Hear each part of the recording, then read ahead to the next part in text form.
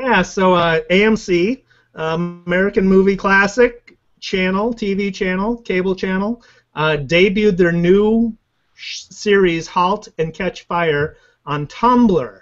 Uh, it's a period show about the competitive 1980s personal computing scene. Uh, as I said, they debuted on their Tumblr account, uh, uh, amctv.tumblr.com. The head of the network group, Josh Sapan or Sapan, claims the network shows are successful as a direct result of the strategy of putting previous seasons of AMC shows on Netflix. So there's a quote New viewers are finding these shows on digital services, uh, catching up on prior seasons, and then tuning into AMC for new seasons in greater numbers, many for the first time.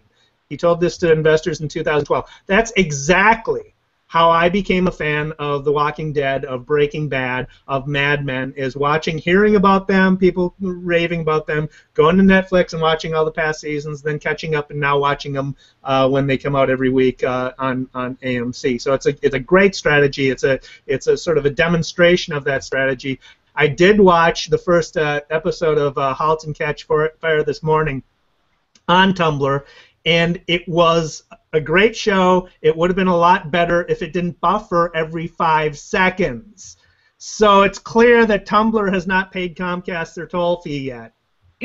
Just saying. Find the video timestamped on YouTube and on the Beyond Social Media Show blog.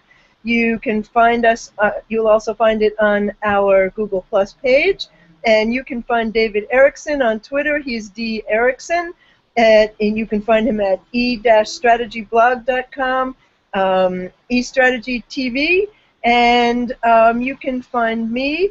Uh, I blog at what'snextblog.com. On Twitter, I am at what's next. Of course, I am on uh, Google Plus, and I write for Ad Age. And my company, um, my new company, is MaximumPlus.com, and it is a company that teaches all things Google at Google Plus and helps to plan Google Plus and YouTube events for companies. We thank you for joining us and we wish you a wonderful holiday weekend if you're in the US and we'll see you next week.